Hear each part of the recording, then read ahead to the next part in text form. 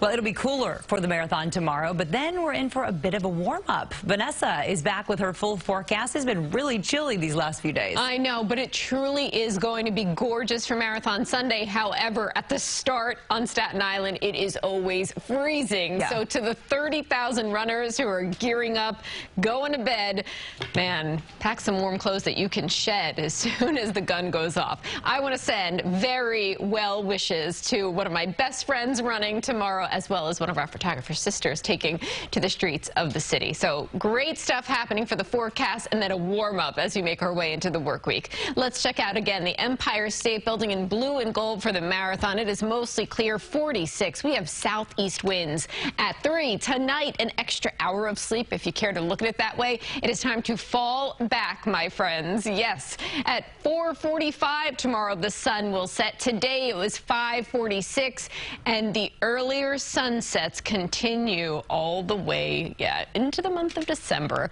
Sunset as early as 428 in four weeks. Today was cool. It was 52 degrees, 5 degrees below the norm, but we had abundant sunshine. Truly beautiful stuff. Tomorrow we're going to get closer to seasonable, 56 degrees for your Sunday. Then on Monday, we bump it up to 62.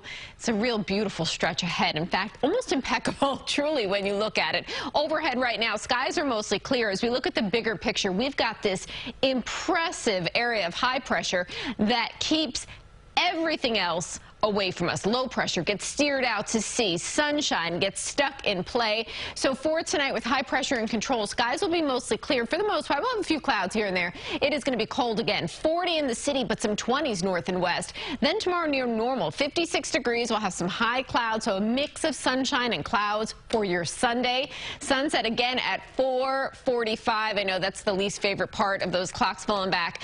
And then Monday, as high pressure begins to migrate to the east, we'll start to get some winds more in the southerly direction pumping into the region, and that helps to heat us up. 62 degrees to start the work week with bright skies. Tonight, though, again, it's 40 in the city, a few more clouds building in the burbs in the 30s and the 20s. Through your day tomorrow at 9 a.m., we're at 44 degrees, a mix of sun and clouds. By noon, up to 53. Then that high around 3 o'clock. 6 o'clock, it's dark and 52. Tomorrow evening at 9 p.m., 48 degrees with some clearing skies out there. So for Monday, it's going to be 62 with sunshine. Tuesday, 64, the hot spot of the week. Wednesday, mostly sunny and 60. Veterans Day looking beautiful, mix of sun and clouds, and 58 with rain in the mix Friday into Saturday.